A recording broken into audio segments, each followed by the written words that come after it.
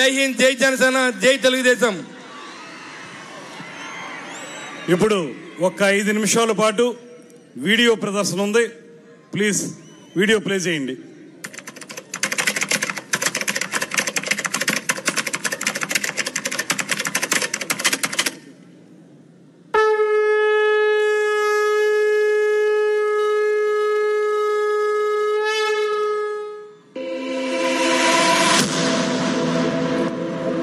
YCP పాలనలో Uttarandhra విలవిల్లాడుతోంది. YCP అధినేత జగన్ ఎన్నికల ముందిచ్చిన హామీలన్నీ నీటి మూటలయ్యాయి. భూములన్నీ వైసీపీ నేతల కబ్జా ఖాతాల్లోకి వెళ్ళిపోతున్నాయని మూడు జిల్లాల ప్రజలు మండిపడుతున్నారు.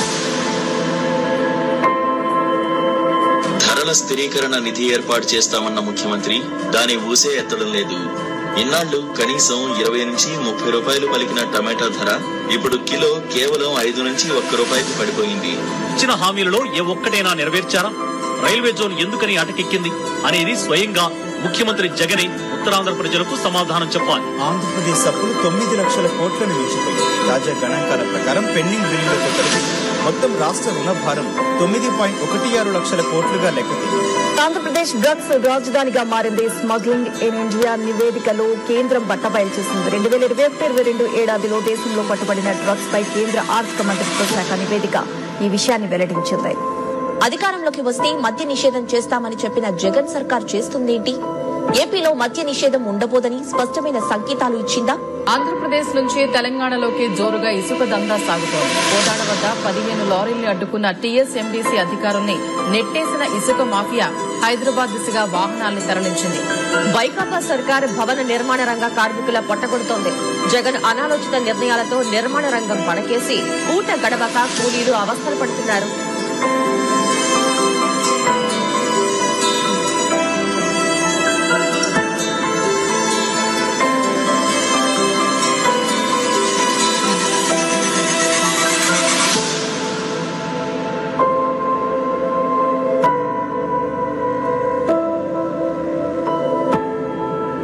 Looks like we need a visa and passport.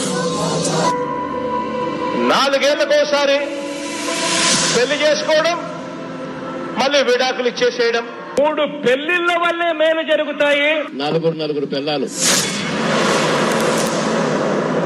మనం చేస్తుంది స్వకార్యం కాదు ప్రజాకార్యం అది రామకార్యంతో సమానం. ఆంధ్రప్రదేశ్ బాగు కోసం చెప్తున్నాను ఈ రోజున టీడీపీ వ్యతిరేక ఓటుని చీల్చే ప్రసక్తే లేదు. నేను బ్రాడ్గా స్టేట్ కోసం చాలా బలమైన వ్యూహం పెట్టాను.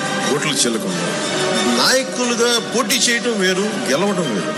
నేను గెలవడం అనేది ఈసారి ప్రమాణంగా తీసుకున్నాను. ఎవరి కాళ్ళు ఇండిపెండెంట్గా మాట్లాడితే ఇబ్బంది అవుతుంది. మీకు రావాల్సింది రాష్ట్ర క్షేమమా లేదంటే మన ఈగోనా మనం అర్థం చేసుకోవాలి. నా first choice Andhra Pradesh people Telugu people. అంతేగాని నేను కూర్చోబెట్టి నా ఇండివిజువల్ ఇగోకి నేను వెళ్ళను. క్రిమినాలిటీ పెరిగిపోయిన ఆంధ్రప్రదేశ్ని రక్షించుకోవాల్సిన అవసరం ఉంది. అందుకని అందరం కలిసి ఓట్లు చెల్లకుండా ఉండాలని చెప్పిన ప్రతిపాదనకి ఎంత నలిగిపోయారో నా ఒకటికి తెలుసు. నేను ఒకటే రెండు చేతులు పెట్టాను. సార్ మా రాష్ట్రం సార్ ప్లీజ్ సార్. అంతే దండం పెట్టి దండం పెట్టి ఈ రోజు జరిగింది. నేను ఎప్పుడు పార్టీ జనసేన పార్టీ ప్రయోజనాలు ఆలోచించాల. ఆంధ్రప్రదేశ్ ప్ర- ప్రజల ప్రయోజనాలు తెలుగు ప్రజల ఐక్యత ఆలోచించాలి. రాష్ట్ర ప్రయోజనాల కోసమే ఈ రోజున నిలబడి ఉన్నాం. దాన్ని ఒకటే కోరుకుంటాం. ఈ ఎన్నికలకి మద్దతుగా నిలబడండి. అందరం కలిసి రాష్ట్రాన్ని నిర్మించుకుందాం. ఈ పర్యాయం నన్ను నమ్మండి. వ్యూహం నాకు వదిలేయండి. ఏ వ్యూహం వేసినా నన్ను సంపూర్ణంగా నమ్మండి. నేను విహంగ వీక్షణం చేస్తాను. మీరు నన్ను నమ్మండి. ఆంధ్రప్రదేశ్ భవిష్యత్తు బాగుండాలి అంటే ఎల్ఐఎన్స్ తప్ప వేరే దారి లేదు. ఎందుకంటే మనం ఇండిపెండెంట్గా పోటీ చేసాం అనుకోండి ఖచ్చితంగా జనసేనకి ఓటింగ్ పెరిగింది. మనకి బలం ఉన్న స్థానాల్లో ముప్పై ఐదు నలభై మేబీ కొన్ని ఖచ్చితంగా కొంత సీట్లు సంపాదించవచ్చు కానీ అది అది ప్రభుత్వాన్ని స్థాపించేంత బలం ఉంటుందా లేదా? ఆ ఛాన్సెస్ నేను తీసుకోదలుచుకున్నాను ఎలయన్స్ బలంగా నిలబడాలి. మనలో మనకి చిన్న ఇబ్బందులు ఉంటాయి కొన్ని త్యాగాలు ఉంటాయి. ఇవన్నీ కొన్ని తప్పవు. తనని తను తగ్గించుకున్నవాడు హెచ్చింపబడినాడు ఆంధ్రప్రదేశ్కి సంబంధించి తప్పులు జరగకూడదు జరగనివ్వం దానికోసం ఎన్ని ఇబ్బందులైనా పడతాం. జగన్ కోరుకున్న యుద్ధం అయితే ఇస్తాం. జగన్ ఓడిపోయే యుద్ధం ఇస్తాం. మేము గెలిచే యుద్ధం ఇస్తాం. యుద్ధం తాలూకు అంతిమ లక్ష్యం అభివృద్ధి. యుద్ధం తాలూకు అంతిమ లక్ష్యం శాంతి సుస్థిరత. గుర్తుపెట్టుకో ఈ రోజు నుంచి నీ పతనం మొదలైంది. నీ క్రిమినల్ సామ్రాజ్యం పూల తొయ్యకపోతే నా పేరు పవన్ కళ్యాణ్ మా పార్టీ జనసేన జనసేన నువ్వు సిద్ధం అంటే మేము యుద్ధం ఉంటాం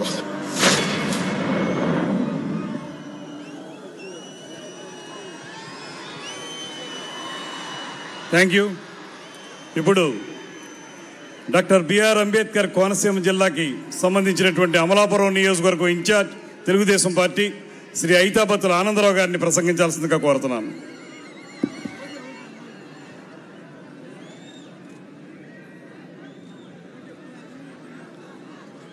తర్వాత శ్రీ కొత్తపల్లి సుబ్బారెడ్డి